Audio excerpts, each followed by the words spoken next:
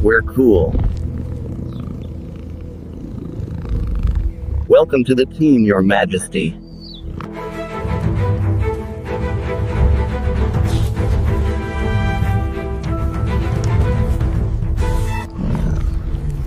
Kael, are we certain following a non-sentient, undocumented terrestrial feline is the most logical course of action?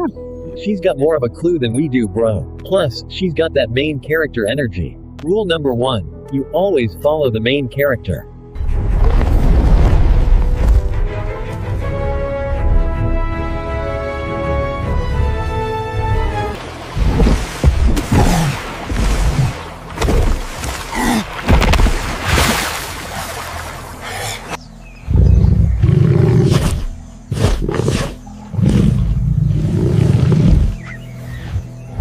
Fascinating. She is tracking a faint trail of decaying chronoton particles, the same energy signature as our temporal device. Her primitive biology is a quantum detector.